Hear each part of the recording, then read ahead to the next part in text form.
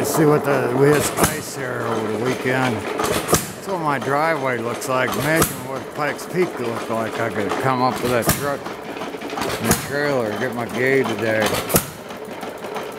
One and a half Gade.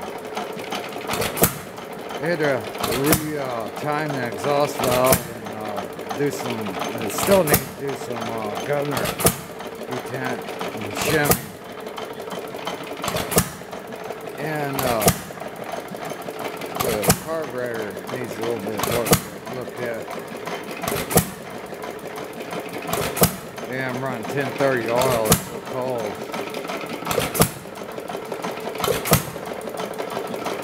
One, one and a half Gade.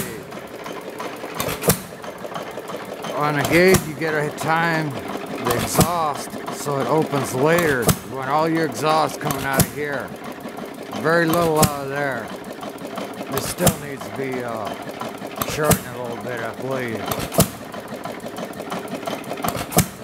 What, how it cools itself, you can see the you see the smoke coming out of there. It draws the air through there and out through there, and that's what cools the cylinder. There's no fan on it. That's the way it would have looked out of factory.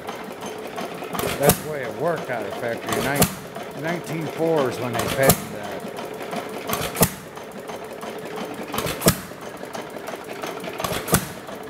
Uh, it needs a little less than that.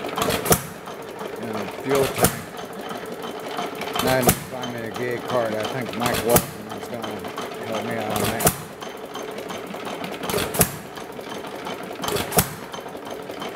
Got a nice coil on it.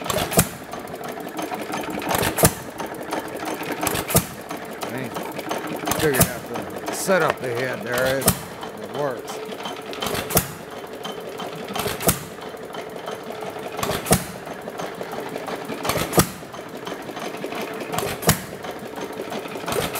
Might put a wristband it later too. Very low blow by.